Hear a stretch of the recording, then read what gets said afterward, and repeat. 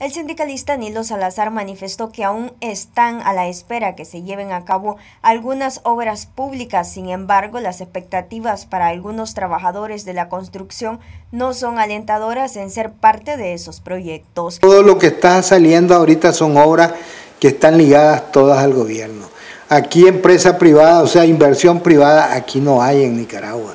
Y mientras la situación siga siendo la misma que tenemos ahorita, más eh, es peligroso que estos mismos proyectos en determinado momento ni ellos mismos arranquen. Aquí no es de ser tomado en cuenta, aquí la lucha es prácticamente, aunque nosotros queramos ser muy responsables de nuestras actitudes, aquí es pelear, aquí es luchar en los centros de trabajo, organizar a los trabajadores para poder penetrar, porque las puertas están cerradas. Aquí para nosotros es que está cerrada la puerta, ¿por qué? Porque no somos afín. Entonces nosotros reclamamos que los proyectos, a los trabajadores se les dé trabajo sin andar viendo si son sandinistas, si no son sandinistas, si son conservadores o qué sean o de qué religión sea, que la constitución política te dice que tenemos derecho al trabajo.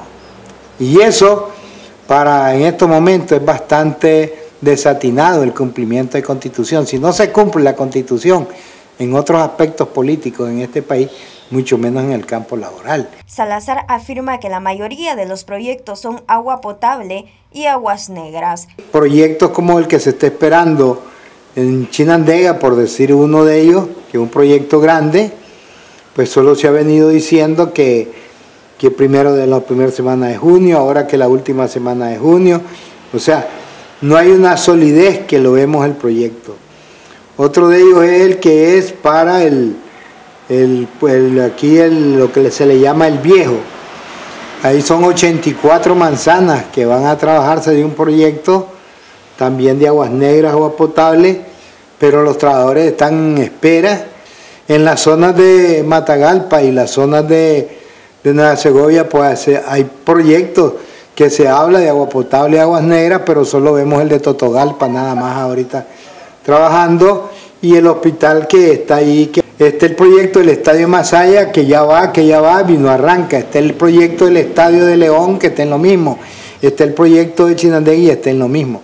O sea, no vemos realmente la decisión de que estos proyectos este, inician a laborar. Noticias 12, Darlene Telles.